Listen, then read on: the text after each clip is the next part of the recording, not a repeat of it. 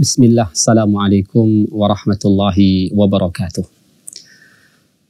Alhamdulillahi rabbil alamin.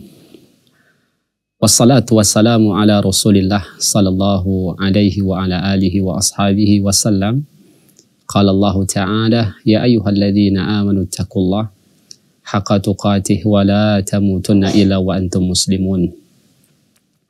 Sahabat dan saudaraku yang kami muliakan, A'azzani Allah wa iyyakum jami'ah. Alhamdulillah kembali dengan izin Allah Subhanahu wa taala kita masih diberikan kesehatan, tentu iman dan Islam. Dan dalam kesempatan kali ini kita akan melanjutkan dari bacaan kita di kitab Bulughul Maram.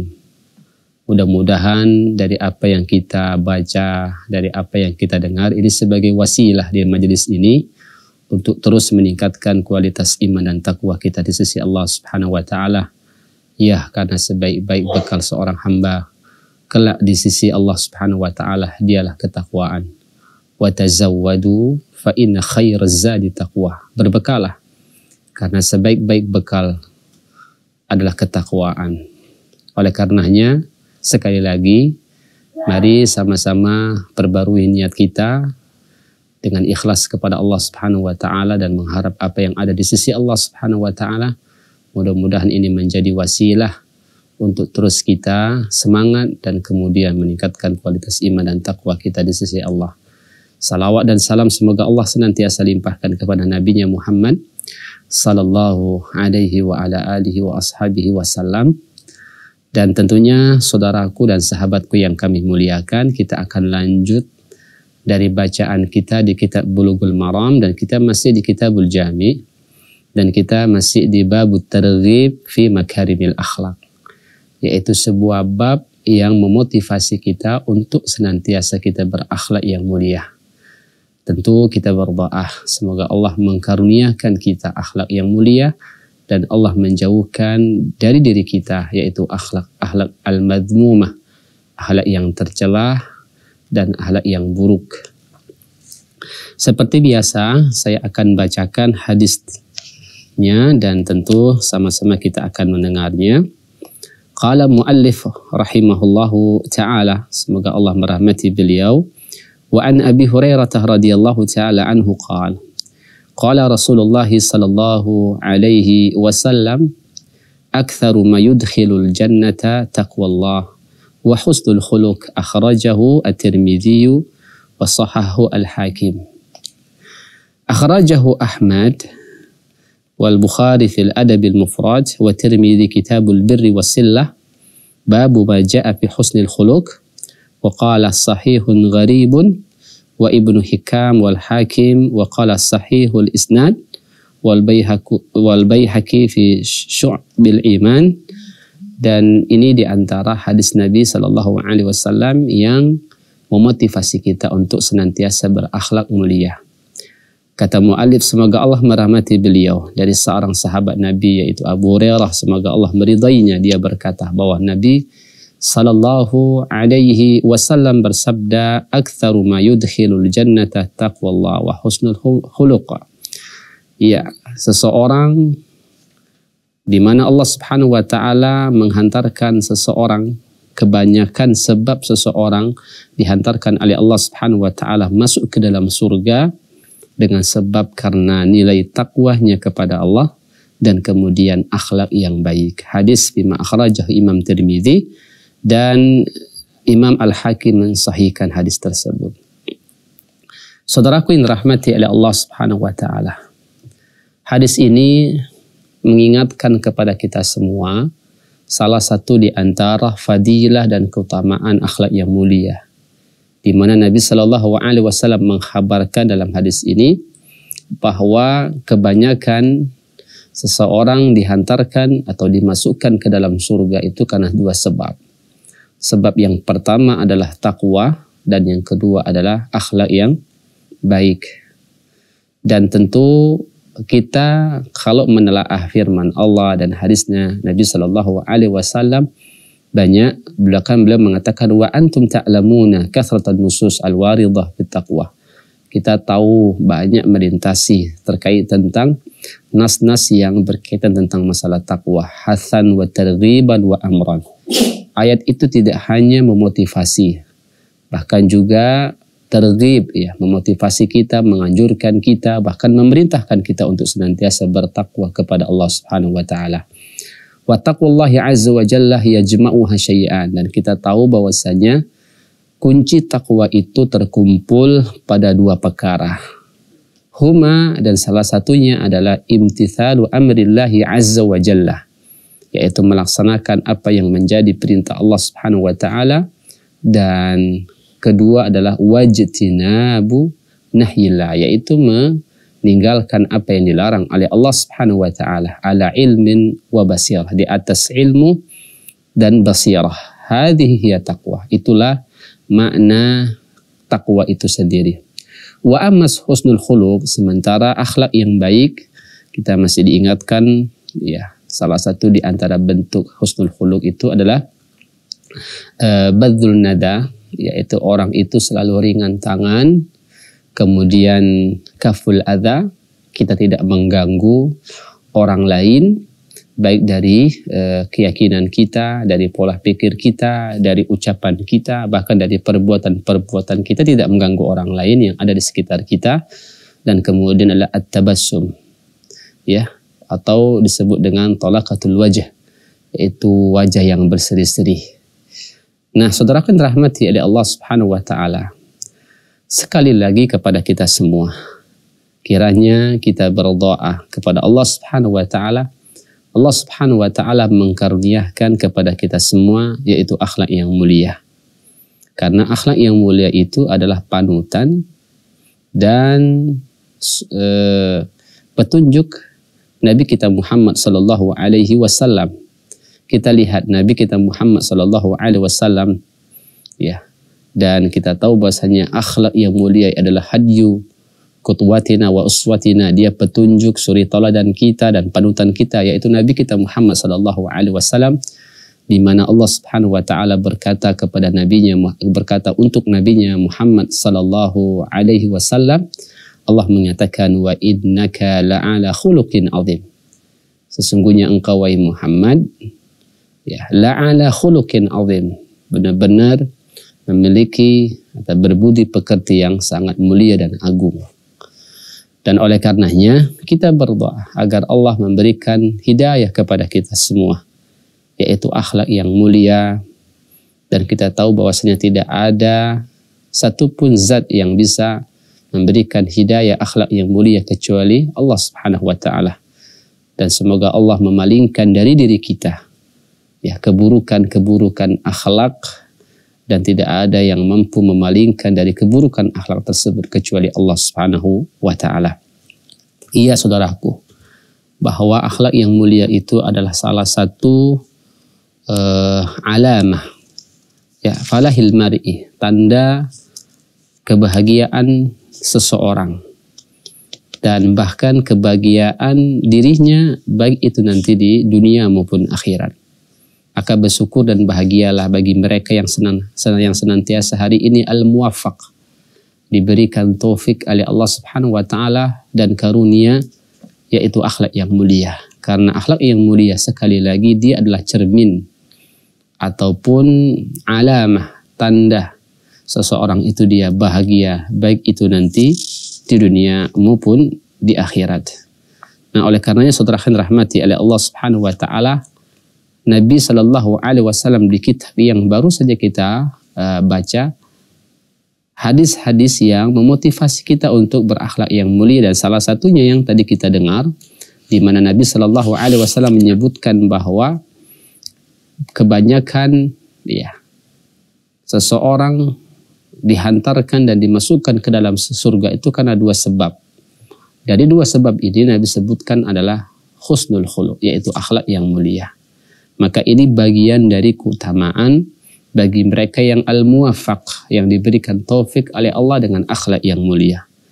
Bahkan disebutkan oleh Imam Ibnu Qayyim Al-Jauziyah rahimahullahu jalla wa ala di mana ketika Nabi Shallallahu alaihi wasallam menjadikan sebab-sebab seseorang masuk ke dalam surga itu dan Nabi Shallallahu Alaihi Wasallam menggandengkan akhlak yang mulia itu dengan takwa. Ya, dan ini tentu kita tahu bahwasanya takwa itu adalah a'la a'la a'la darajat atau a'zam wasiyah. Bahwa tahu kita tahu bahwasanya takwa itu adalah wasiat yang paling amat mulia. Dan Nabi Shallallahu Alaihi Wasallam menyebutkan di antara seseorang masuk ke dalam surga dengan sebab kedua hal ini. Nabi sebutkan yang pertama takwa dan yang kedua adalah husnul khuluq dan Nabi gandengkan dengan takwa dan kita tahu bahwasanya takwa itu adalah wasiat yang paling agung dan mulia di sisi Allah Subhanahu wa taala. Maka oleh karenanya Imam Ibnu Qayyim rahimahullahu uh, rahimahullahu taala dia mengatakan jama'an nabiyyu baina taqwallah wa husnul khuluq. Nabi Shallallahu alaihi wasallam menggandengkan mengumpulkan antara takwa dengan akhlak yang mulia. Di dalam hadis tersebut dan dua sebab itu adalah kebanyakan seseorang masuk ke dalam surga. Lianna taqwallah tuslihu ma bainal abdi wa baina rabbih karena ketakwaan itu adalah salah satu sebab yang dengannya orang itu akan memperbaiki hubungan antara dirinya dengan Allah Subhanahu wa taala. Wa husnul khuluq sementara akhlak yang mulia yuslih ma bainahu wa baina khalqihi dia akan memperbaik hubungan antara dirinya dengan makhluk Allah Subhanahu wa taala. Fataqwallah tujibu lahu mahabbatullah. Sementara takwa kepada Allah Subhanahu wa taala menghantarkan seseorang mendapatkan cintanya Allah Subhanahu wa taala. Wa husnul huluk sementara akhlak yang mulia yadu ila mahabbatihi yang menghantarkan seseorang untuk menggapai cintanya Allah Subhanahu wa taala. Maka dari sini kita bisa ambil sebuah ibrah di mana Nabi Shallallahu alaihi wasallam menggandengkan dua perkara ini yang kebanyakan manusia dihantarkan ke dalam surga oleh Allah Subhanahu wa taala ini menunjukkan kepada kita semua bahwa jika kita ingin baik muamalah hubungan kita dengan Allah Subhanahu wa taala maka perbaikilah kualitas takwa kita kepada Allah Subhanahu wa taala. Sementara jika kita ingin hubungan kita baik dengan makhluk Allah Subhanahu wa taala dalam hal ini adalah manusia, maka perbaikilah kualitas akhlak kita. Karena jika kita ingin baik kualitas hubungan dengan Allah, maka kata Imam Ibnu Qayyim, kualitas takwa itu harus diperbaiki. Sementara jika kita ingin baik hubungan kita sesama manusia, maka perbaikilah kualitas akhlak kita sesama manusia. Sementara takwa menghantarkan kita cinta Allah. Sementara akhlak yang baik menghantarkan kita cinta kepada Allah Subhanahu wa taala. Baik saudaraku, kita akan lanjutkan bacaan ini di segmen berikutnya. Wallahu taala a'lam bissawab.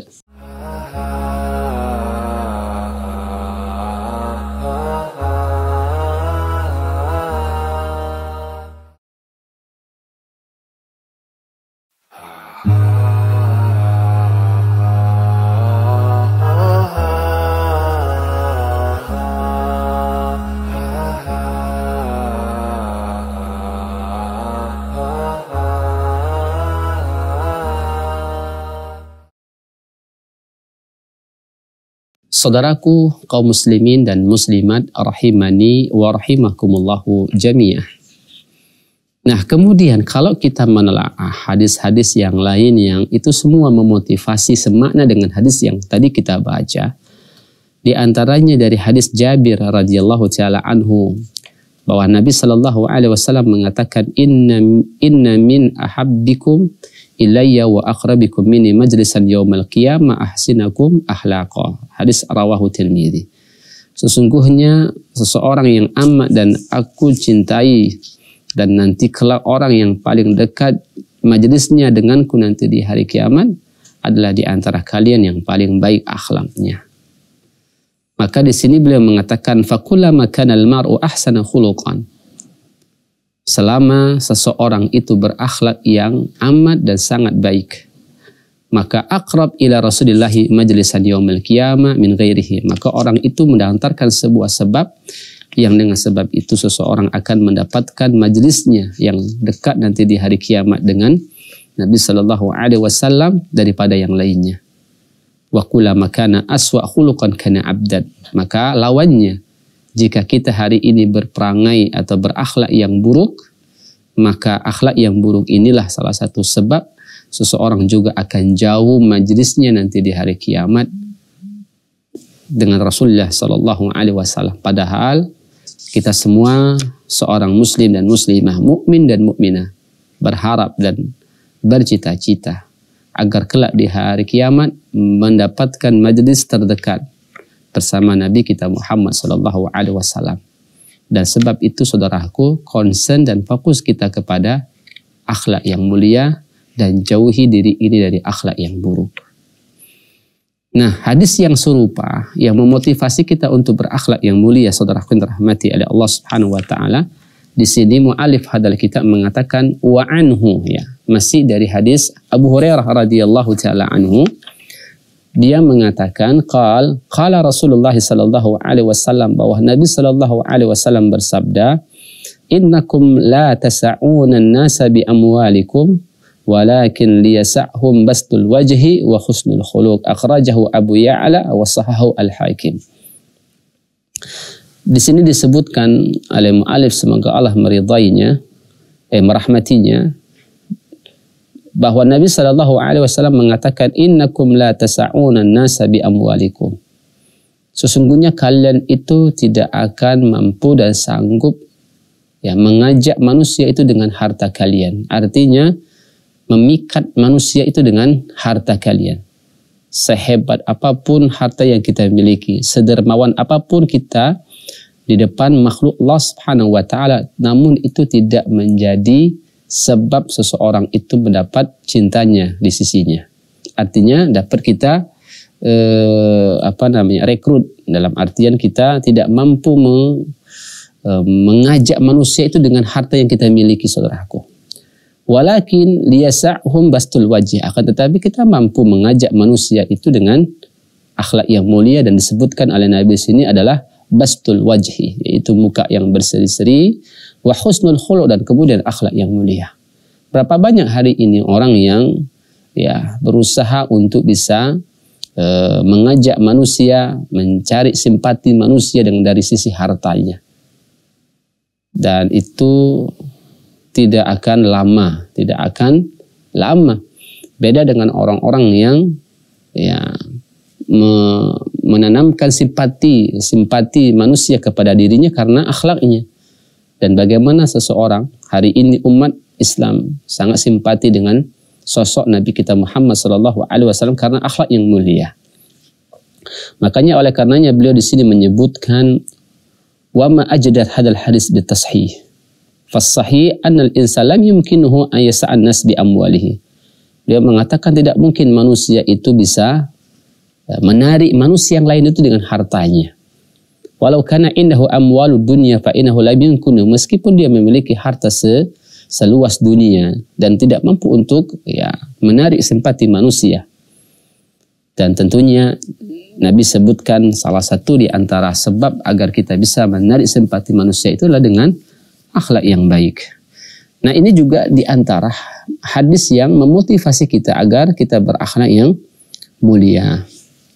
Kemudian saudara yang dirahmati oleh Allah Subhanahu wa taala masih banyak juga di antara hadis Nabi Shallallahu alaihi wasallam yang menyebutkan kepada kita semua untuk berakhlak yang yang mulia.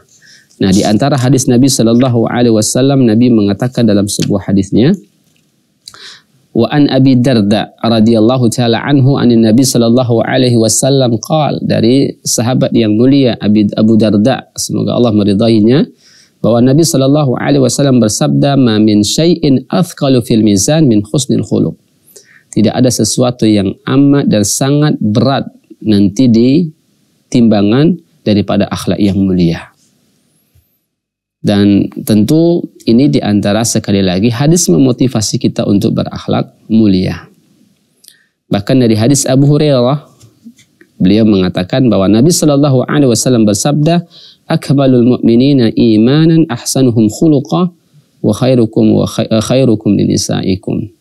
Maka di antara mukmin yang sempurna imannya adalah mereka yang paling baik akhlaknya dan sebaik-baik kalian adalah orang yang baik kepada istri-istri kalian.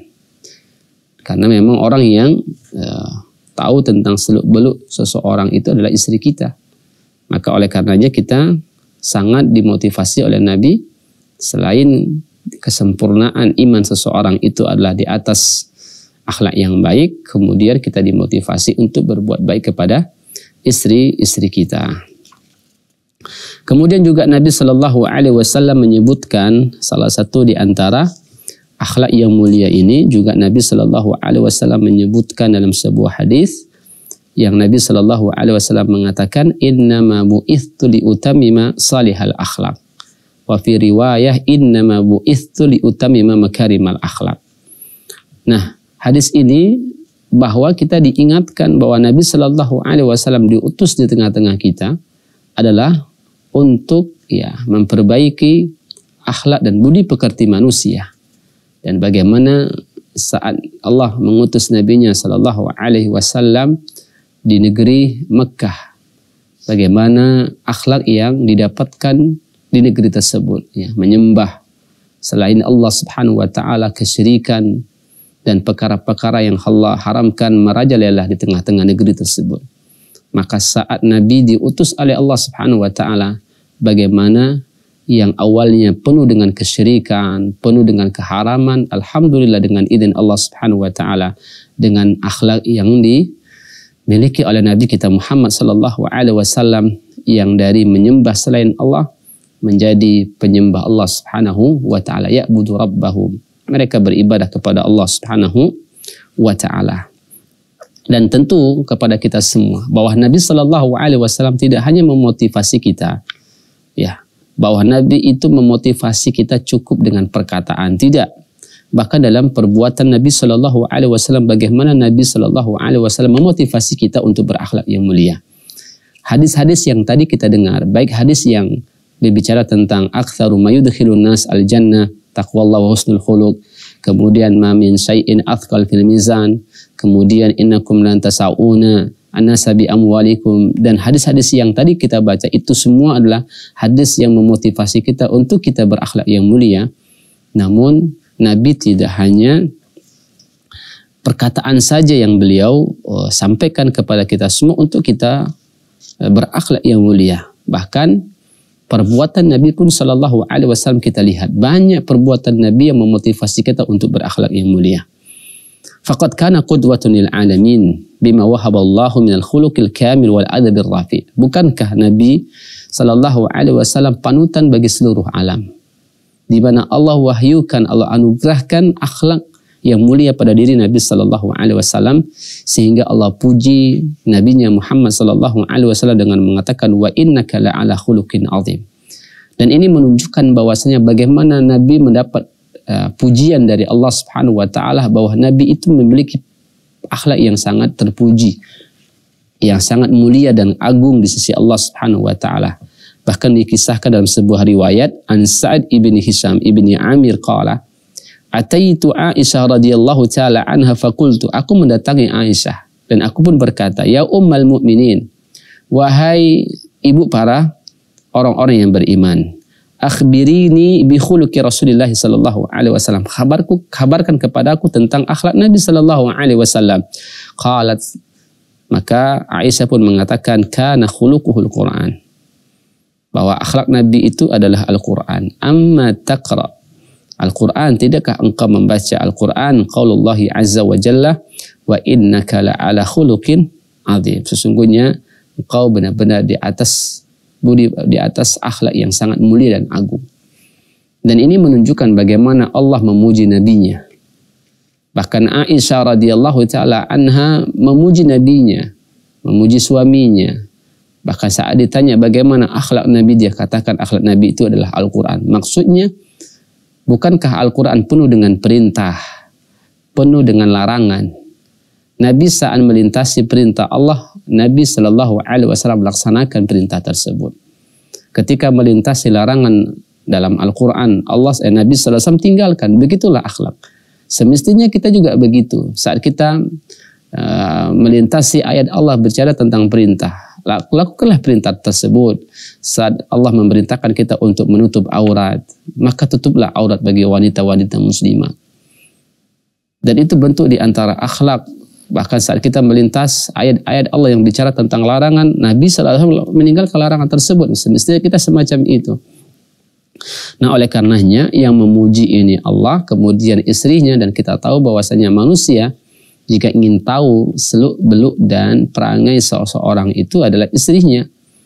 Dan saat kita mengkonfirmasi bagaimana akhlak Nabi dan itu yang menjawab bukan sahabat Abu Bakar As-Siddiq radhiyallahu taala an, bukan sahabat yang mulia Umar ibn Khattab dan sahabat-sahabat yang lain tetapi langsung yang mengkonfirmasi bahwa akhlak Nabi itu baik langsung istrinya. Kita tahu bahwasanya jika kita ingin melihat, mengetahui sebenar-benar bagaimana perangai seseorang itu tanyakan kepada istrinya. Karena istrinya tahu bagaimana perangai suaminya dan itu sebaliknya.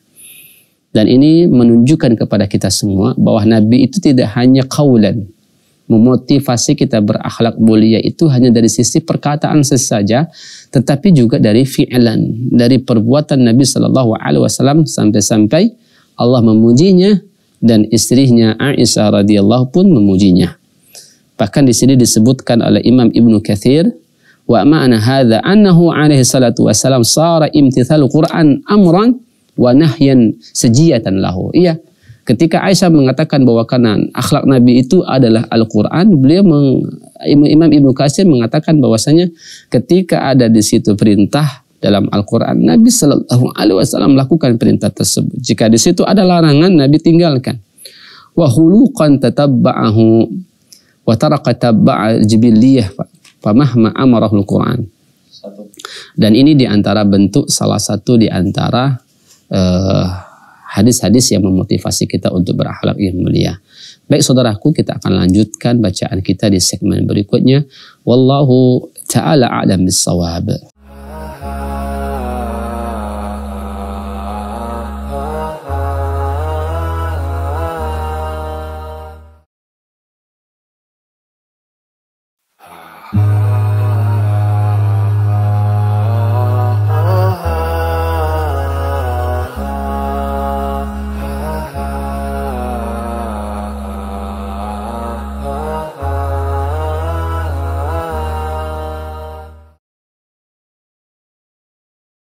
Saudaraku kaum muslimin dan muslimat a'azzani Allah wa iyyakum jami'ah. Iya. Tadi kita katakan bahwa Nabi memotivasi kita untuk berakhlak mulia tidak hanya dari perkataan saja. Bahkan dari perbuatan Nabi Shallallahu alaihi wasallam Nabi tunjukkan. Dan dan itu mendapat uh, pujian dari Allah dan pujian dari istrinya Aisyah radhiyallahu taala anha. Bahkan di sini disebutkan kama thabata fi sahihain an Anas qala khadimtu Rasulullah sallallahu alaihi sallallahu alaihi wasallam asra sinin. Aku pernah berkhidmah kepada Rasul sallallahu alaihi wasallam selama 10 tahun. Fama qala li ufqat. Nabi itu tidak pernah berkata untukku uf ah atau yang semisalnya. Wala qala li syai'in fa'altuhu lima fa'altahu. Dan Nabi tidak pernah mengatakan kepadaku tentang sesuatu yang aku lakukan. Nabi mengatakan, kenapa kamu lakukan itu? Wala li syai'in lam af'aluhu ala fa'altahu. Dan Nabi pun tidak pernah mengatakan kepadaku tentang sesuatu yang belum aku perbuat. Kemudian Nabi mengatakan, kenapa kamu belum lakukan? Wa kana sallallahu alaihi wasallam ahsanun ahsanun nas khuluqan. Itulah pribadi Nabi yang Nabi adalah orang yang paling baik akhlaknya. Bahkan di sini juga disebutkan wala masas tu khazan wala hariran wala syai'an kana alyan min kaffi Rasulullah SAW. Tidak pernah aku menyentuh selembut tangan Nabi Shallallahu Alaihi Wasallam. Kita tahu bahwasanya sutra itu adalah benda yang amat lembut. Tetapi tidak ada sesuatu yang amat aku sentuh yang sangat lembut kulitnya dari tangan ya, telapak tangan Nabi Shallallahu Alaihi Wasallam. Bahkan wala syamamtu miskan wala itran kana atyab min araki Rasulullah dan tidak pernah aku men, uh, mencium bau minyak wangi yang paling wangi daripada keringat Nabi Sallallahu Alaihi Wasallam. Dan ini menunjukkan bagaimana uh, akhlak Nabi Sallallahu Alaihi Wasallam.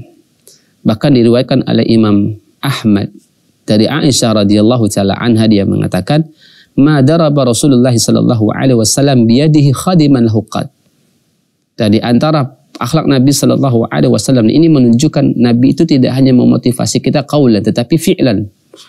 Dan Aisyah mengatakan Nabi itu tidak pernah memukul dengan tangannya seorang pembantu sama sekali. Wala mera'atan bahkan wanita pun tidak pernah Nabi sallallahu alaihi wasallam pukul dengan tangannya. Wala daraba biyadihi syai'an qad bahkan sesuatu yang ada di sekitarnya tidak pernah Nabi sallallahu alaihi wasallam pukul dengan tangannya.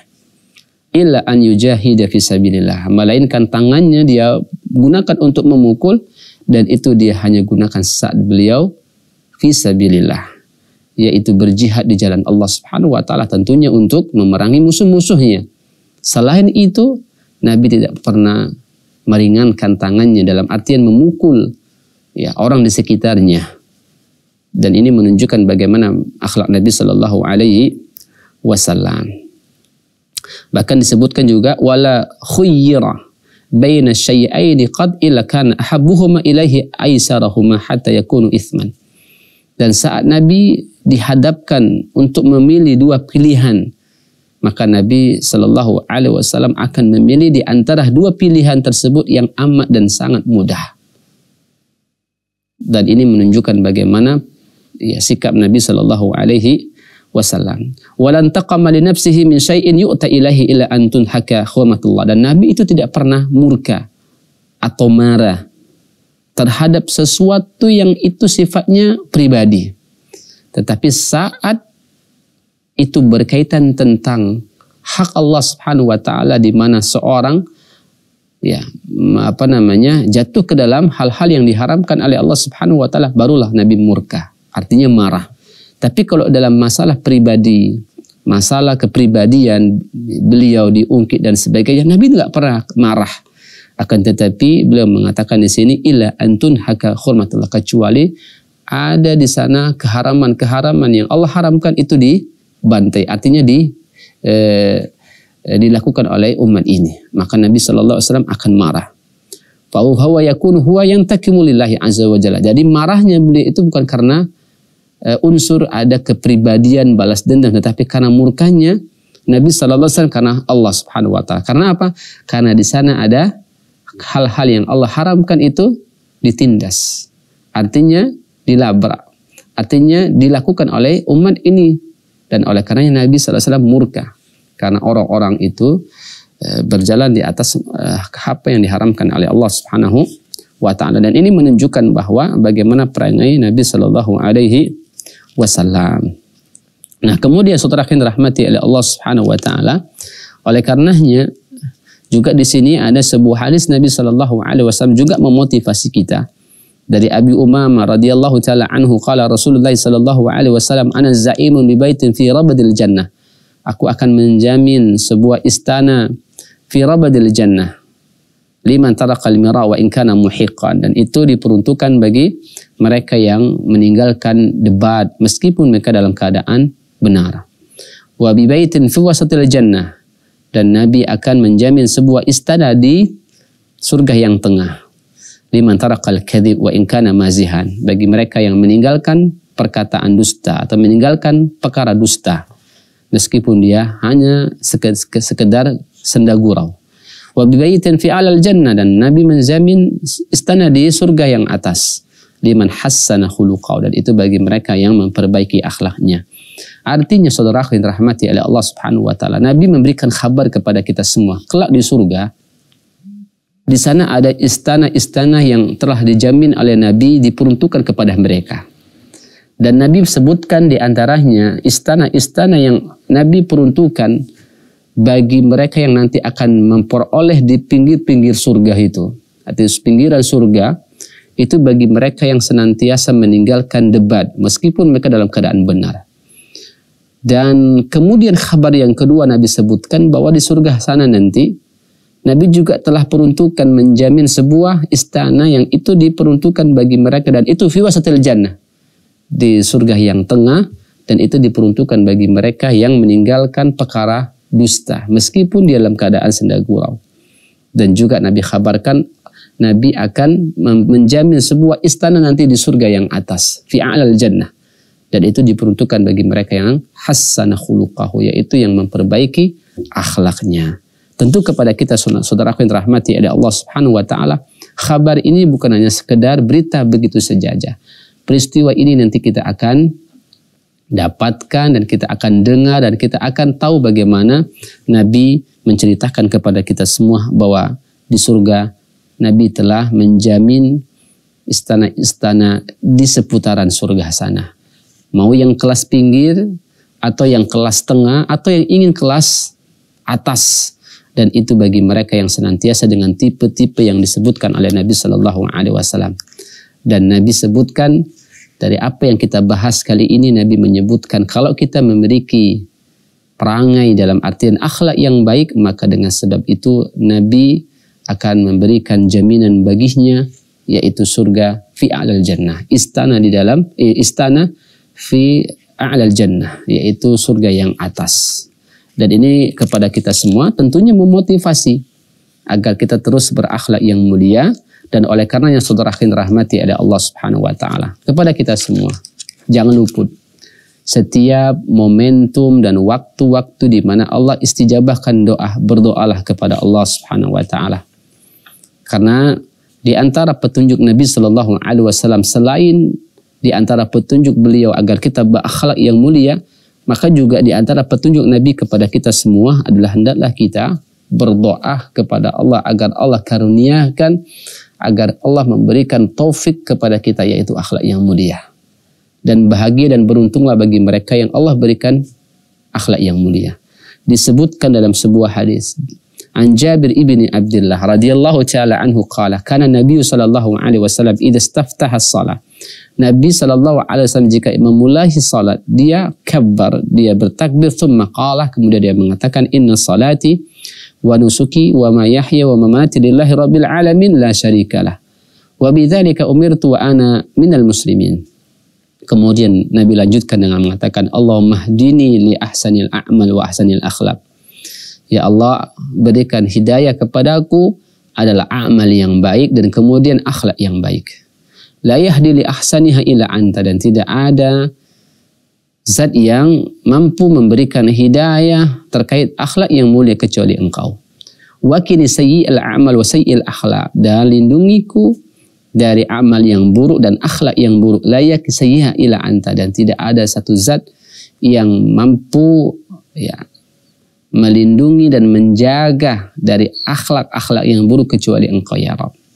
Hadis lima akhrajahu Imam An-Nasai. Dan ini di antara uh, doa yang Nabi selalu senantiasa berdoa kepada Allah agar Allah karunia, karuniakan pada dirinya akhlak yang baik. Tentu kita yang tentu jauh ya. Oleh karenanya manfaatkan di setiap waktu-waktu Allah ijabahkan doa sebab-sebab saat kita dengan sebab itu Allah akan ijabahkan doa jangan lupa untuk kita selalu berdoa kepada Allah agar Allah karuniakan akhlak yang baik buat kita semua.